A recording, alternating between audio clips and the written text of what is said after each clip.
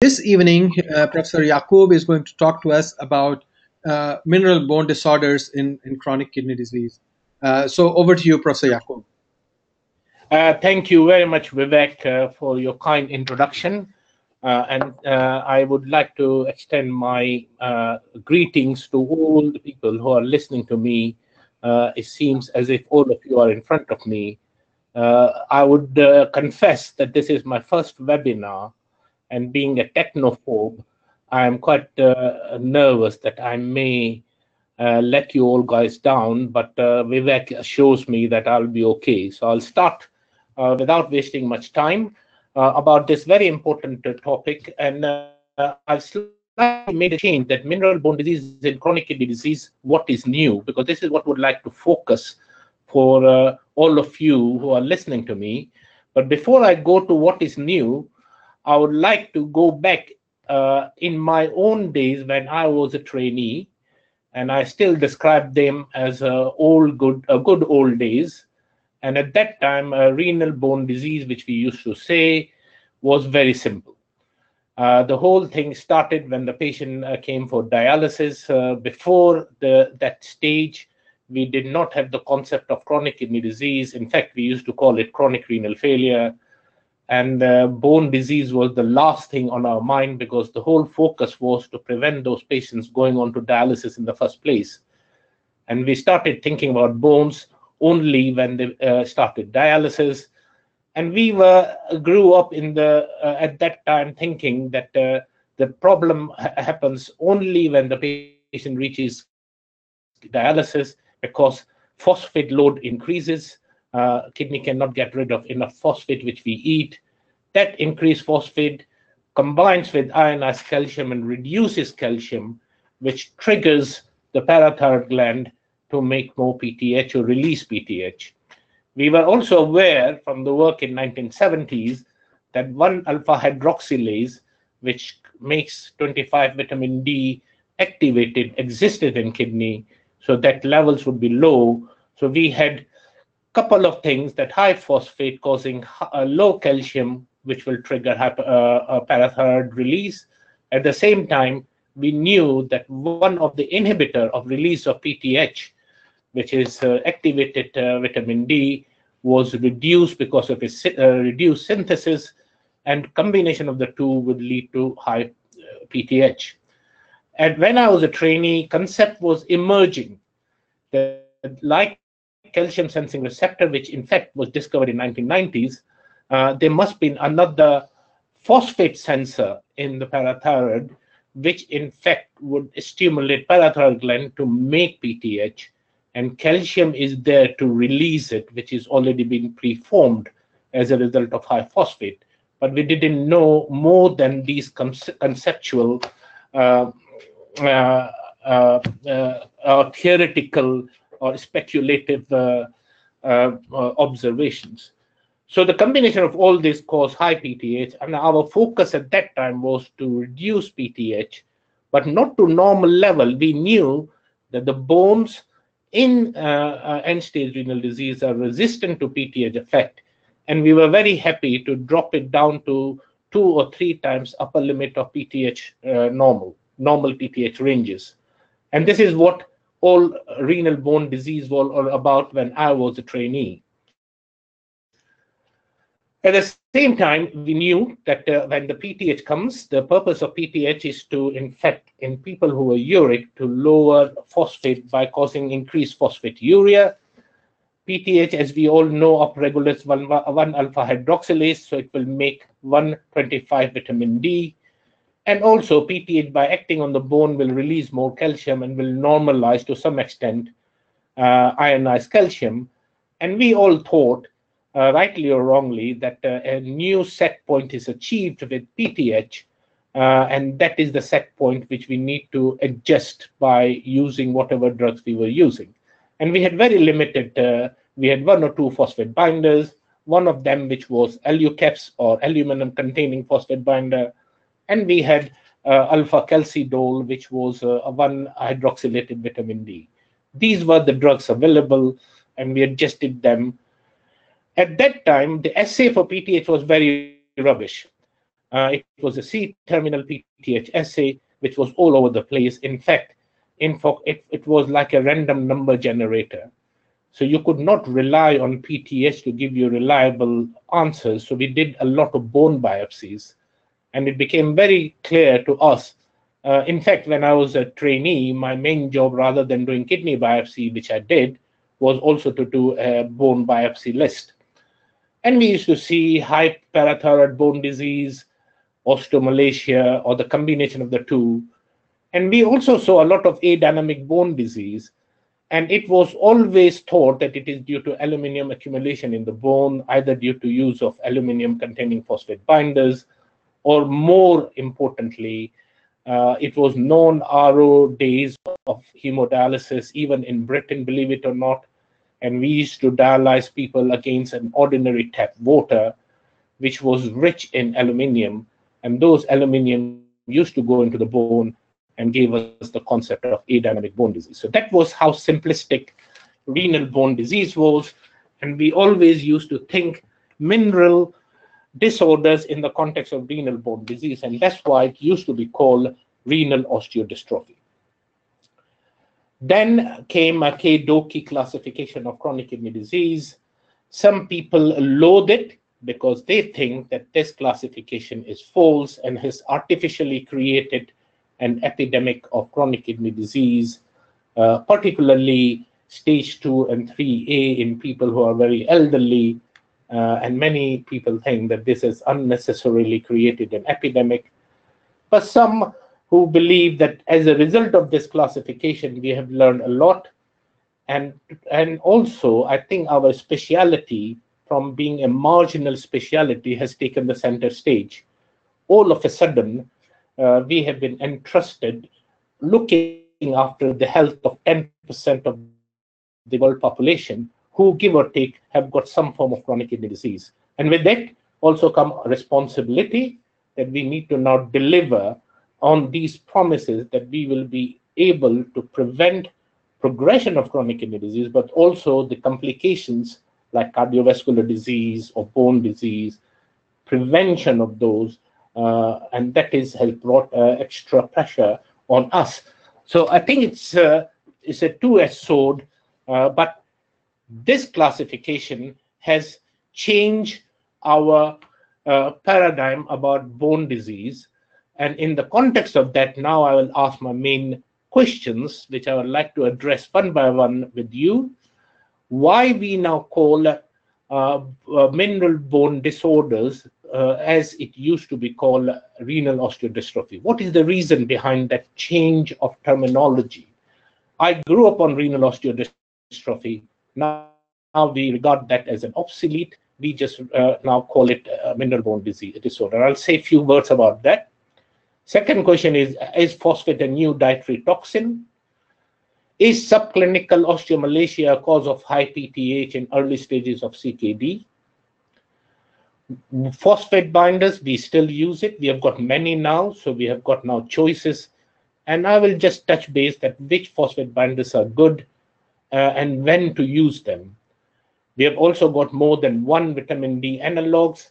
Again, I will address few things whether uh, uh, when to use them and which one to which one is preferable. We have got now calcium sensing receptor activators, which is like uh, or mimetics, which we are using. should we be using oral or intravenous? And still, believe it or not, uh, parathyroidectomy has to be done in certain cases. And if we do it, would it be better to do partial or total?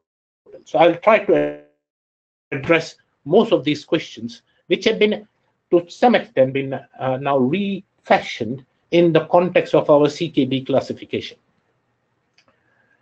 And this is uh, the reason why we have changed. I'm, I say, and I apologize that the first slide which I'm showing should be the final slide, but I would like to make this slide with you one by one, adding all these boxes and arrows with you as I go along from now onward, just to say on this slide that because it is not bone disorder which we are now interested, we are interested the impact of mineral disorders which uh, affects the cardiovascular tissue, extraosseous any tissue, even the lungs, even cardiac valve, the calcification beyond and mineral deposition beyond bone uh, gets impaired.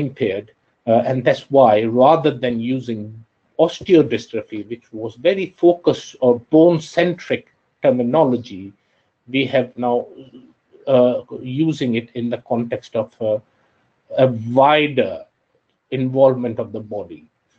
And also mineral uh, bone disorder sounds good because it is not just purely bone, it also gives us chance to explore other involvement of other tissues. And also this has been made about because we have now learned that these disorders start much earlier during the course of chronic kidney disease rather than what we used to believe uh, that they always happen at the end stage, uh, stage or at the stage of dialysis or initiation of dialysis. So I'll try to cover some of those.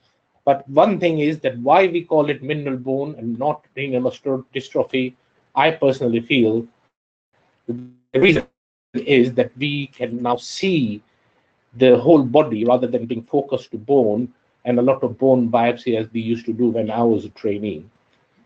So let's start with the first. Is phosphate a new dietary toxin? And I think to some extent the answer is yes. Uh, we all now, as the world is getting westernized, we are all eating uh, processed food, there are a lot of edi uh, uh, additives which being used. Sometimes they are not even put on the labels of the food which we consume. And a lot of inorganic and organic phosphate is added to our food as additives. So we have got far more phosphate intake than what uh, a freshly cooked food would give us. And also we have realized that uh, the our phosphate intake overtakes the excretory power or of a kidney of uh, for phosphate, uh, even as early as stage two and three. Uh, in old days, we always used to think that these are always stage five problems. We can now, from our investigations in chronic kidney disease cohorts, have seen that in fact there is some evidence that phosphate level may be okay, but urinary phosphate excretion increases much earlier uh, in the course of chronic kidney disease, but it comes at the price. The other player which has come into and which is relatively new as a result of phosphate is that the original thing is the same, that you have high phosphate, which lowers the ionized calcium. Also, the 1-alpha hydroxylase, sorry, I've gone 1-alpha hydroxylase, which I'm using my arrow, also starts going down much earlier rather than what we thought before. So at the stage of three or four, uh, alpha hydroxylase is uh, uh, uh as deficiency is manifested, and these two would give you high PTH. But now there is convincing evidence, at least in experimental setting, that high phosphate has got uh, a phosphate sensor, which has not yet been conclusively proven in human setting, but I think it seems like a sodium phosphate uh, co-transporter. Uh, in uh, exper experimental model, we call it PET. This is the same transporter which has now been shown that high phosphate X on causes increased synthesis of uh, PTH, but also the same transporter is present in vascular smooth muscle cells which converts those cells into osteoblast. Oh, so that's why vascular calcification starts by phosphate acting on those co-transporters and changing the phenotype. So it's not a passive process, it is an active process, calcification. So this is an, another new paradigm shift in our thinking about uh, vascular calcification. But one interesting molecule, which has been talked about more so and more trials are done in non-renal failure setting is sclerostin, which is uh, a peptide produced by osteocytes. It uh, inhibits uh, B signal B catenin signaling, and that is essential for osteoblast Uh, uh, homeostasis. So if you inhibit the signaling, osteoblast stops working, and as a result, bone formation goes down. And there's now convincing both experimental as well as some clinical evidence that sclerostin is one of the mediators of adynamic bone disease or low turnover bone disease. And that in that context also causes osteoporosis. I'll show you some latest data about the reversal of osteoporosis in general population. The other thing which I believe uh, is a possibility that we never knew that PTH, how does the bone becomes refractory to PTH in CKD? In fact, uh, there is some evidence and it's my personal view that sclerostin is also the reason why bone becomes refractory to PTH because there is an inverse correlation between sclerostin and PTH. The higher the sclerostin levels, the lower the PTH, and it's the other way around. If PTH are high, sclerostin goes down. So there is some other evidence, and it's quite possible that in future we may be using monoclonal antibodies against sclerostin, uh, as we have now recently started using in osteoporotic postmenopausal women, where you, as we all know, has got the highest burden of uh, fractures. And these are the couple of two trials. Uh, the first top slide, uh, uh, trial is a randomized controlled trial against a placebo. And as you can see, that the uh, patient's fracture rates, particularly the vertebral fracture rates, are considerably lower in those people who got a monoclonal antibody against sclerostin as against placebo in post-menopausal women with osteoporosis. The other interesting thing, in my opinion, was that the post hoc analysis of this trial showed that when you neutralize sclerostin, uh, PTH level went up. So this is again, there is some inverse relationship with this. How does that happen? We don't know, but there is an inverse relationship and as we all know that PTH is one of the best anabolic pep, peptide which we use in osteoporosis to increase bone mineral density. And there was a second trial done recently where they used teriparatide, which is a PTH small molecule, I mean, first 30 uh, or 33 amino acid component of PTH against uh, sclerostin monoclonal antibody, which is called romosozumab and when they compared these two in a randomized way, the bone density was much more marked with the sclerostin antibody against teriparatide. And I think the reason was that uh, uh, antibody does two jobs. It increases endogenous PTH, which is a very good anabolic, plus it reduces osteosclerotin, sclerostin, which uh, is an inhibitor of bone formation. So watch uh, the literature coming. Hopefully, we will be using this. But a word of caution that this peptide inhibits bone mineral metabolism, whether by neutralizing that in CKD patient, we will be increasing extra osseous calcification. We don't know. Theoretically, yes, it could be the case, but we will never know till we do a trial including patients with CKD. So that is future future for you. Uh, this is a new player which never existed when I was growing up, but uh, it's exciting time in the uh, mineral bone disorder. So what happens uh, is that we have got back to the square one. So I've told you that sclerostin goes up with phosphate. It also increases PTH, and PTH when it goes up, uh, what does it do?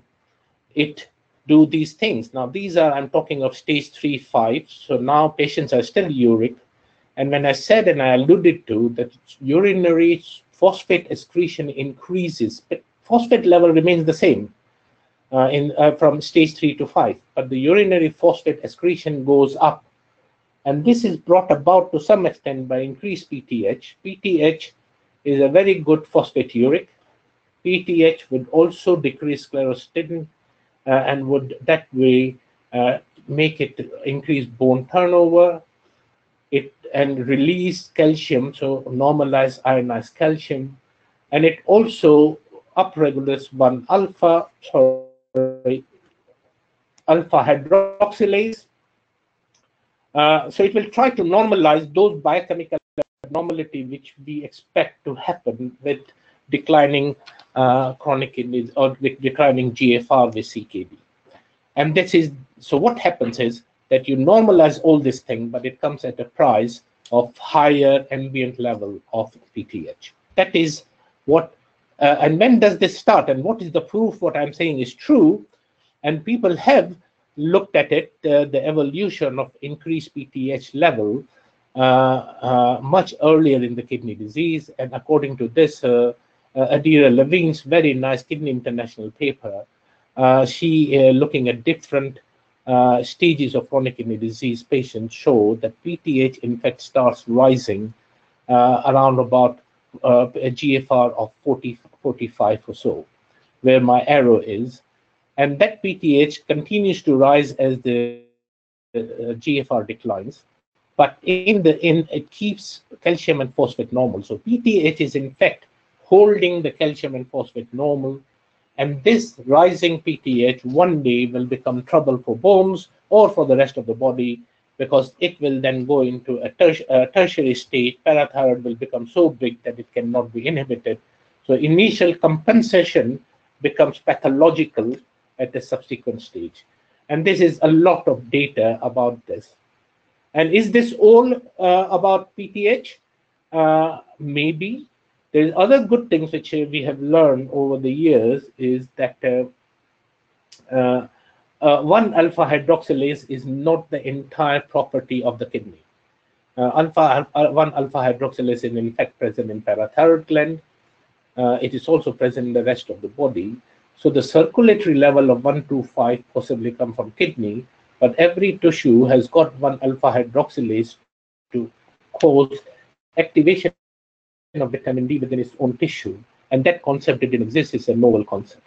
The other thing which is very interesting, in my opinion, is that uh, uh, uh evidence is emerging that hyperplasia or hypertrophy of the parathyroid gland is mediated by COX2. There is some experimental evidence that if you knock down COX2, and give animals a lot of phosphate or induce a high phosphate diet with chronic kidney disease, they don't develop hyperplasia of the parathyroid gland. So that is again very useful. Clearly, we don't use COX-2 inhibitors because of nephrotoxicity, but uh, there could be clever tools found as site-specific delivery to parathyroid of some inhibitors of COX-2 by nanotechnology or other uh, technologies in the future which will again give us or increase our uh, armory against bone disease in future. So that is futuristic. What about uh, vitamin D? Uh, uh, we know that uh, now that vitamin D in its original form can get activated in parathyroid gland. It doesn't have to go to the kidney. and can this vitamin D be useful and should we be giving vitamin D to patients with CKD in early stages? Uh, we know that it can uh, activate toll receptors. 20, uh, it uh, has got some anti-TB properties. It is anti-inflammatory. Our own work and uh, Vivek and Anjar's work uh, lately has shown that vitamin D given to CKD improve endothelial function as well. So should we be giving vitamin D and what is the evidence that vitamin D levels are low? before I go into that, I will tell you a story about Finsen, Niels Ryberg Finsen was uh, a Faroe Island resident and he invented Finsen's lamp. He was given a Nobel Prize in Physiology and Medicine because Finsen's lamp, lamp uh, changed the management of lupus vulgaris, as you know, it's a skin uh, TB condition. Uh, in East London at that time, we had an epidemic of lupus vulgaris, and this lamp, which is shown on the slide, is the original, uh, which is in, in our uh, museum in our hospital, was given by Queen Alexandra, who is the grandmother of our current queen, to our hospital to treat uh, lupus vulgaris. And the people will come, instead of coming for dialysis, they will sit under this uh, lamp, uh, have phototherapy, and their lupus vulgaris used to get uh, resolved ironically, the dialysis unit which we had uh, was the original place where this phototherapy used to be done. Uh, and this also shows that how ancient our hospital is. Our hospital was built 300 years ago, which is the Royal London Hospital. But in fact, St. Bartholomew's Hospital, where I worked too, uh, was uh, uh, uh, um, opened in the 11th century. So we, we, we've got a very old setup of hospitals here. Uh, but the, the, feeling was that phototherapy kills TB. Unfortunately, we had to wait for a hundred years or so after that discovery when it became clear that in fact Finsen's lab was making vitamin D in the skin and subcutaneous tissue. And this vitamin D was required for toll receptor to kill the mycobacteria. Uh, so this is where the story came that vitamin D has very good adjuvant properties when it comes to TB. In fact, it minimizes the inflammatory burden of TB patients. Uh, we have shown it ourselves that vitamin D levels are incredibly low in patients much earlier in chronic kidney disease. And if you were to look at it, which is appropriate for our talk, that the Indo-Asians who live in my area, as well as uh, Afro-Caribbeans, the incidence of vitamin D insufficiency is, astronomically high as compared to the local population. So clearly, vitamin D levels are lower uh, in both Asians and blacks, as well as in whites, but more so in the other two ethnic groups, uh, and we know that. Uh, we also know from literature that if you give very high dose of cholecalciferol, which is a vitamin D, uh, it lowers uh, inflammatory cytokines in end-stage renal disease. And another interesting thing, which is a new player in anemia management, or a relatively new player called hepcidin, which is a, a peptide produced by liver to inhibit uh, uh, iron absorption from the gut, uh, it uh, is basically uh, why our chronic kidney disease patients don't absorb iron very well. but because it is a pro-inflammatory, it is produced as a result of pro-inflammatory cytokines, uh, some people have looked at it, whether giving them high dose of cholecalciferol will reduce hepcidin level. And this slide clearly shows that if you were to give cholecalciferol, remember these are vitamin D, they are not activated vitamin D, given to uh, chronic kidney disease patient, and you can see that the hepcidin levels falls down, which will relate or translate to increased absorption of oral iron and won't have to rely on parenteral iron. We, one of, uh, I hope, uh, one of my uh, uh trainee who was here and had done his uh, research and is now moved to India, Tarun Kaushik, he did very interesting pragmatic randomized controlled trial in our dialysis group and was able to show that giving uh, algocalciferol, which is a, a, vitamin D coming from vegetarian source, uh, why we use that was because we have got a lot of vegetarian in our dialysis program. So in order to respect their religious belief, we chose algocalciferol. Clearly, we showed that the uh, time average hemoglobin, uh, uh, which we looked at it, was much better, and the EPO requirement went down. Uh, like uh, Vivek, as I mentioned, we have also done, uh, or we did the randomized placebo-controlled trial and were able to demonstrate that in CKD patient with vitamin D deficiency, just giving vitamin D on its own improves endothelial function, and it was because uh, of upregulation of endothelial nitric oxide synthase. So we published this in PLOS One, and subsequently it has been uh, uh, validated in a study done in India by Vivek and Jha's group uh, in a randomized way showing similar findings. So it's very, very reassuring that when your findings are proven by another reputable uh, group, and we were very pleased to see this uh, that our work was uh, subsequently proven uh, right in a different country with different group of people. Is there any evidence that some uh, clinical or osteomalacia due to this vitamin D deficiency drives some of the hyperparathyroidism which we see in early phase chronic kidney disease? I think this is uh, uh, uh proof that if you give vitamin D to patient in early stages of chronic kidney disease, you can lower PTH. So some of the PTH which comes in the early phase of chronic kidney disease is possibly due to vitamin D insufficiency or deficiency, which gives you what you would see in an osteomalacia or rickets setting, a high PTH level. And some of the PTH is coming, of course, because of high phosphate. Now, uh, another player enters into the whole uh, uh, schema, which is uh, uh, phosphatoninins. we always knew that there is an another phosphaturic enzyme which may be coming or a peptide well before PTH kicks in in chronic kidney disease. Uh, and we uh, had that inclination, but it was a very accidental finding uh, in a tumor-related osteomalacia patient uh, uh, many, many moons ago, where they found that a phosphatonin called FGF23 was released by some mesenchymal tumors, which led to phosphaturia and caused increased uh, phosphate, uh, low phosphate level in people with normal kidney function.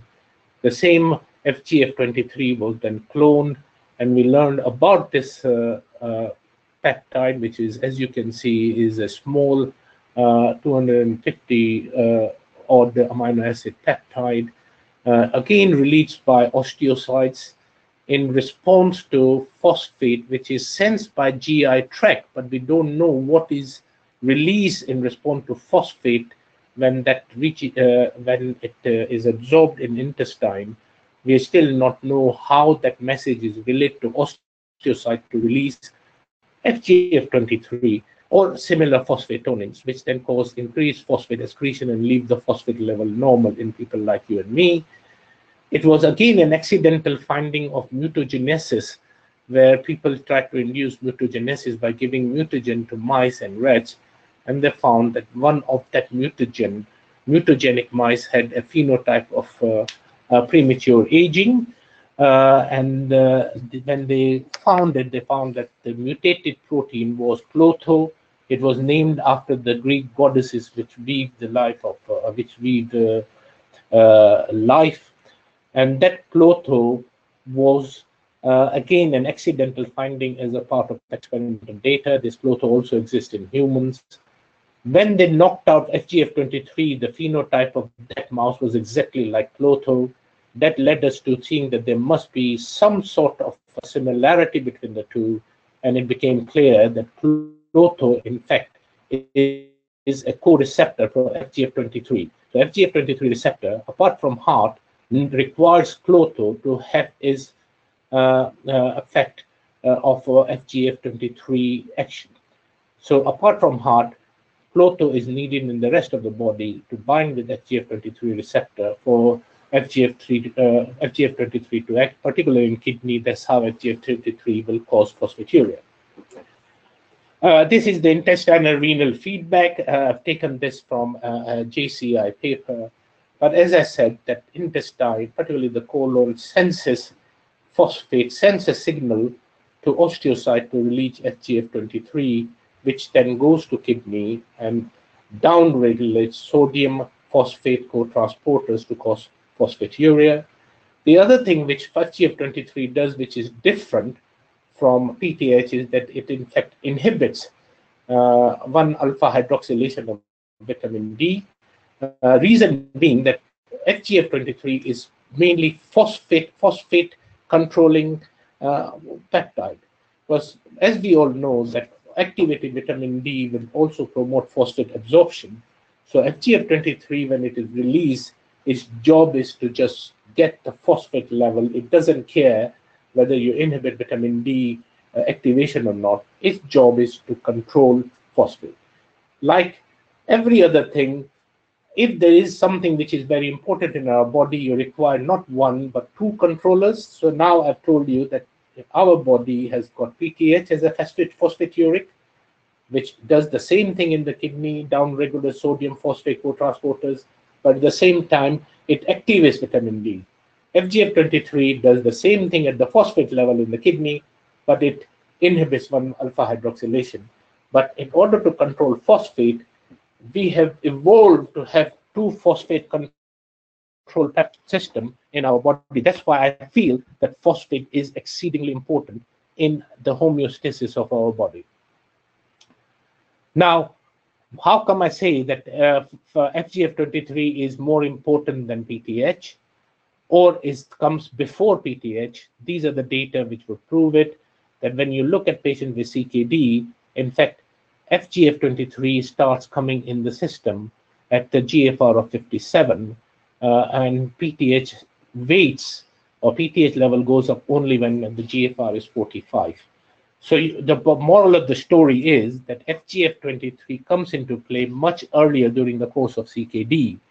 And if I have to be a guessing man, uh, if you have to intervene to prevent phosphate uh, uh, or reduce phosphate uh, uh, uh, Um, absorption, either you use phosphate binder at that early stage uh, uh, of uh, chronic kidney disease, which we never think about, or you at least give dietary advice to the patient to cut phosphate down this is my impression. There is no data. There is no data being done that phosphate binders used in a big randomized controlled trial that early on in CKD phase will eventually save lives or prevent future uh, PTH. But theoretically, I can say that that makes sense that rather than waiting uh, till the end stage, feed start intervening much earlier in CKD with either phosphate binders, but more importantly, a proper dietary advice of avoiding excessive phosphate load, uh, we possibly would be able to prevent subsequent epidemic of renal bone disease. FGF23 uh, is much more powerful predictor of mortality in people undergoing hemodialysis than uh, uh, uh I would say phosphate. I give this uh, analogy that FGF23 is possibly equivalent to glycated hemoglobin uh, uh, as we all know, that glycated hemoglobin is a better predictor of uh, diabetic complications than random blood sugars. So phosphate possibly is, yes, still uh, uh, is a predictor, but FGF23 is more stronger predictor. And this sort of a data has now been generated in observational studies for CKD patients or even transplant patients. So the higher the FGF23 levels, the worse uh, the outcome both cardiovascular and patient survival. The other interesting thing, which that's why I wanted to allude to, that FGF23 can give us a clue why uh, patients with chronic kidney disease, even with normal tension, can develop LVH. Uh, and that is uh, uh, an experimental evidence that if you were to get FGF23 and put it on left ventricular uh, uh, myocytes, we have done it as well, that if they undergo hypertrophy.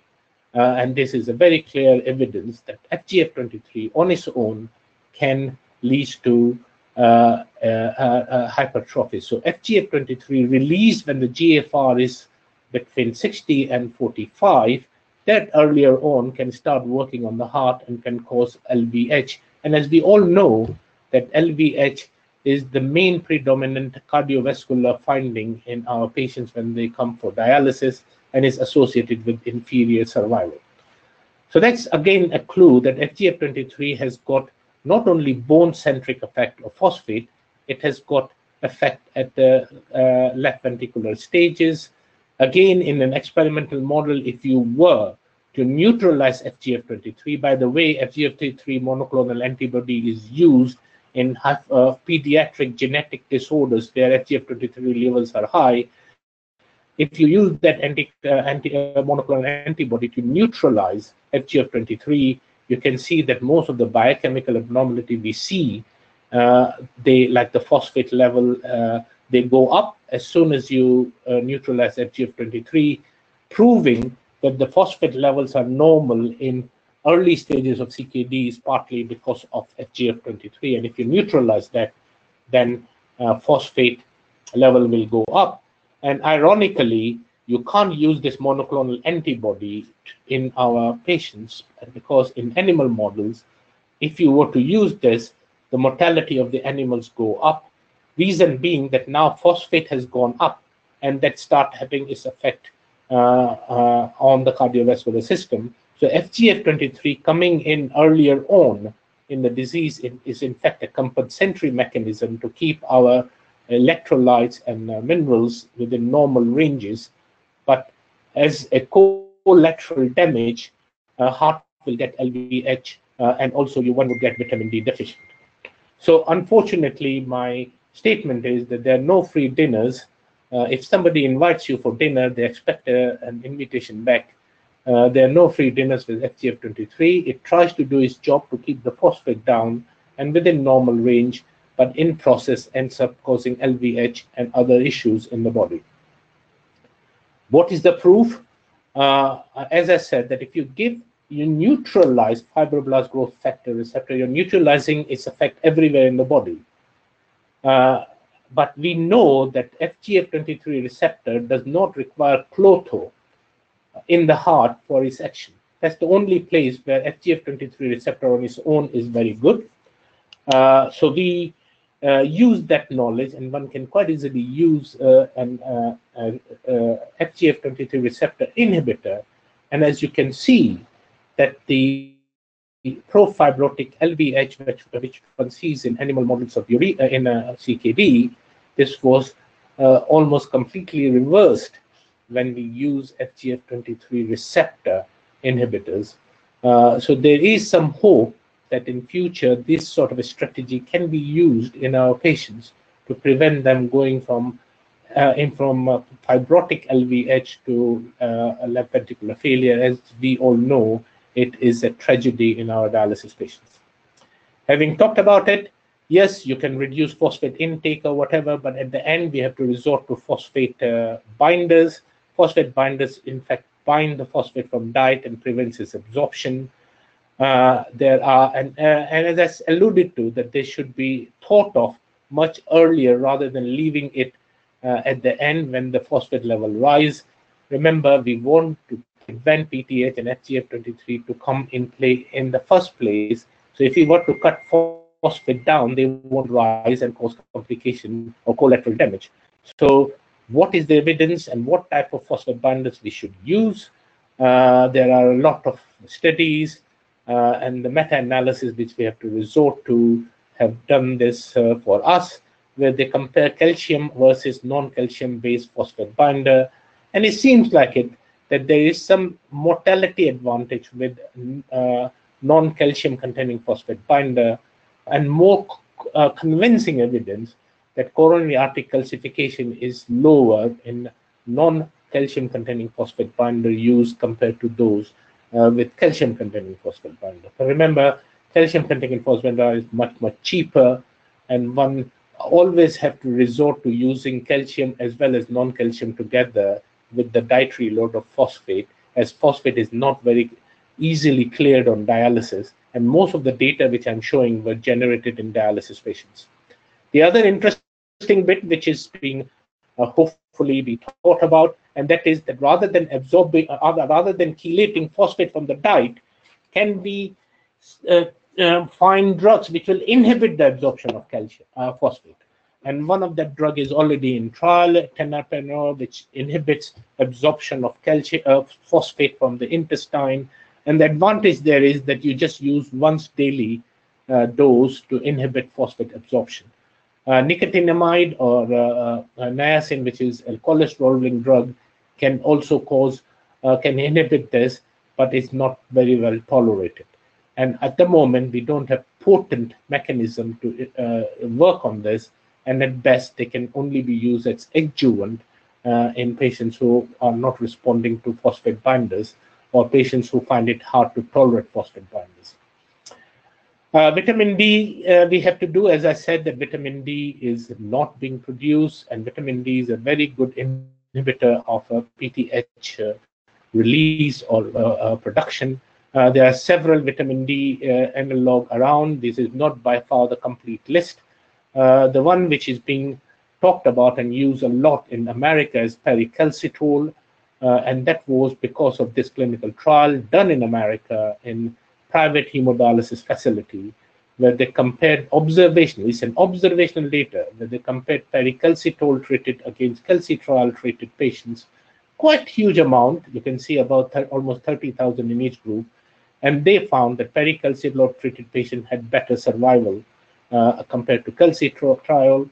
And more importantly, when calcitriol patients were switched to paricalcitol, uh, those switched patients did better compared to those who stayed on calcitriol.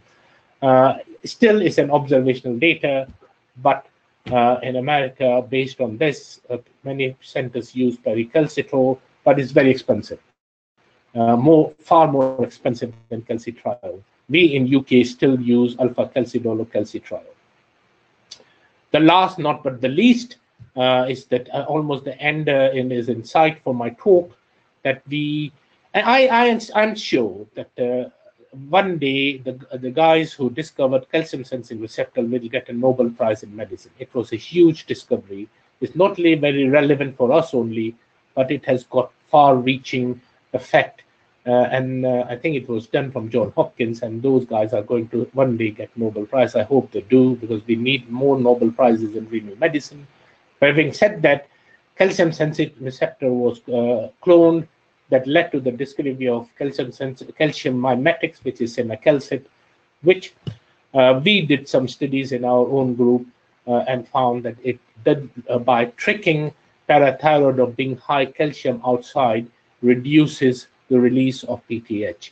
And uh, there was marked six monthly biochemical improvement. This was a six month study that at six months, giving cinacalcet, which is a calcium mimetic, improved biochemical parameters of PTH. Uh, so that led to the outcome study, which was, we all know, was EVOLVE study, where people were randomized into two groups. Uh, by far, this is the biggest hemodialysis study ever done. Uh, in uh, our uh, in in the bone field. Remember, there's almost two million people on dialysis coming three times a week, and we don't have many randomized controlled trials to show for these patients.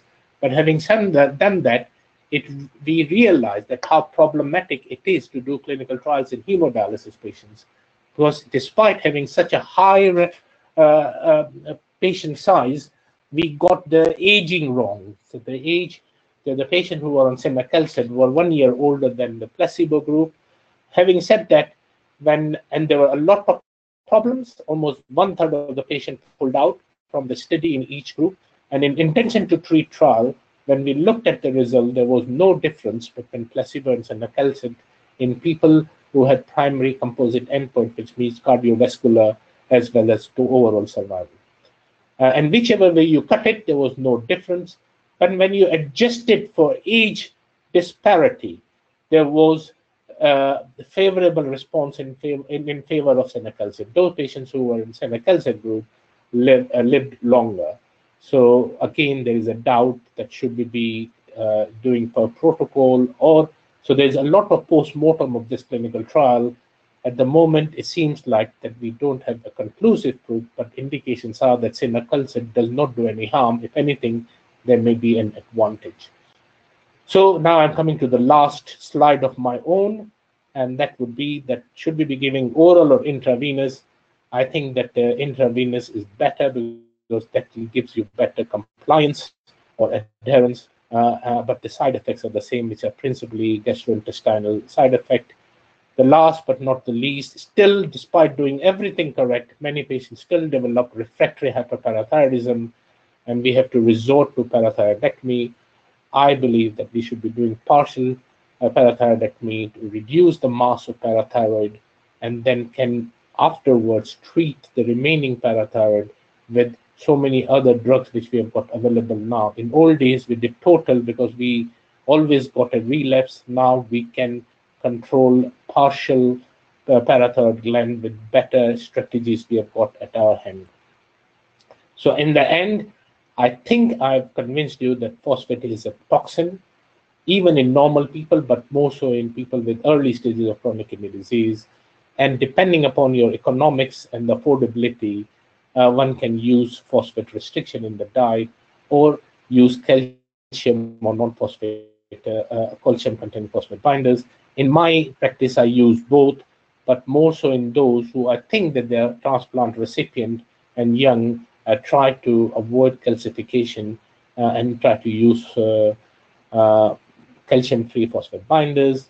We use vitamin D analogs, but I always use vitamin D analogs after correcting vitamin D deficiency if there is any, because it makes sense and also it makes a common sense. And also I use phosphate dump binders first before I start uh, active vitamin D analogs uh, we use calcium mimetics as a last resort, and last and the last resort is parathyroidectomy. So I've created all these boxes for you, going one by one with uh, all the questions we uh, talked about. Uh, and at the end, I would like to say that for a practicing clinician, it's not the guidelines. Remember, guidelines are for the whole population. For a clinician, your responsibility is for the patient who's sitting in front of you. And in, for that patient, the economics, the cardiovascular status, and his remaining body should feature in what and how you treat his mineral bone disorders. Thank you very much for staying with me for that long. And I hope that I have, despite being a technophobe, not let you guys down by uh, using webinar for the first time. Thank you so much. Thank you very much, Professor Yaqoob, for this flawless presentation. I think you are making a fool of us when you say that you are a technophobe and that uh, you are doing it for the first time. This was this was a perfect presentation, uh, which uh, covered almost all the aspects of chronic kidney disease as as it pertains to mineral and bone disorders. I think your point about these disorders moving away from the the osteodystrophy centric uh, view that we used to have when we were training now to understand uh, the, the, the role of all these perturbations in, in the wider uh, context of all the problems that our patients with chronic kidney disease have is really important. And I'm sure there will be a number of questions. So uh, for all the attendees, please, uh, uh, you know how to ask questions. You can either type the question in the question pane or you can raise your hand and uh, I will uh, go ahead and uh, unmute you. We already have a bunch of questions from from from our attendees, and so I will read them one by one. Right. So the first question is from Dr. Saivani uh, Yalampalli, and uh, it says a 26-year-old female with uh, asymmetric kidney, normal kidney function, normal anion gap metabolic acidosis with nephrotic syndrome, hypocalcemia, hypokalemia with normal uh, pH with osteomalacia, how do we approach? So this is a somewhat different kind of question, uh, which yeah. So I, I think that that uh, is more uh, in the line of so either this lady which you are mentioning with the nephrotic syndrome, obviously that nephrotic syndrome could be a secondary FSGS or whatever, one asymmetric kidney. I don't know what the underlying cause of his nephrotic syndrome, but to look at the hypokalemia and hypophosphatemia, clearly that patient possibly, and, and also osteomalacia, is leaning towards FGF3 or phosphatidylcholine disorder, in my opinion. So what I would advise is to try to find out what is, is it this patient got some sort of Fanconi's type syndrome, which is causing all these metabolic mayhem. Uh, and if that is the case, as I said, that people with that sort of a disorder, which have got excessive FGF23 for whatever reason, they can now respond. And there was a recent trial in New England Journal of Medicine uh, which showed that monoclonal antibody against FGF23 for patients like this in pediatric setting normalized uh, most of these uh, uh biochemical abnormalities uh, and uh, they also chose those who were refractory to very high doses of activated vitamin D and high phosphate intake. So they had to they they could stop all those by just giving monoclonal FGF23. I've never used it because I don't look after patients like that. Uh, but there is a literature about using, and I I can't be sure, but I think what you're describing, uh, this patient, because of the age and the sort of abnormalities you're telling us has got some sort of a genetic or acquired disorder which is uh, akin to Fanconi's, leading to phosphaturia and compensatory hypokalemia, which possibly would respond to something like uh, phosphate intake and vitamin D. If they don't respond, then monoclonal antibody to FGF23. I hope that uh, partially addresses the question. Thank you. Uh, I can see that there is a hand raised by someone, so please bear with me. I will go through the other questions which have been asked, and then we will come to come to you. So the next question is from Dr. Vinay Rathore, who asks, when should you do bone biopsies uh, in current day scenario? You did mention that in, in olden days you used to do a lot of bone biopsies. So what indications do you have currently for doing a bone biopsy? So as I said, that it's uh, more of a research tool now than uh, a diagnostic. And the reason why that happened was uh, on two accounts. The one was that our PTH assay, uh, though it's not perfect, but I think is a reasonable PTH assay. Uh, and with that, we now have got assays for FGF23 and sclerostin as well. So we, we've got better biochemical uh, markers of, uh, and also there are certain biomarkers of bone turnover, particularly in the early phase of kidney disease. So that made uh,